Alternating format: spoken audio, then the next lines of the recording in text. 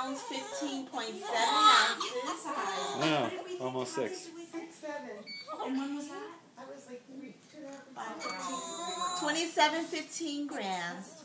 Wow. Five fifteen. Yeah. Okay. So six pounds. Okay. If she didn't get the stool, if she didn't give them a cone, she, she was a town. Yeah, she picked out the.